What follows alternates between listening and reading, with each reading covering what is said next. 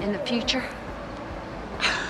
When a woman's crying like that, she isn't having any fun.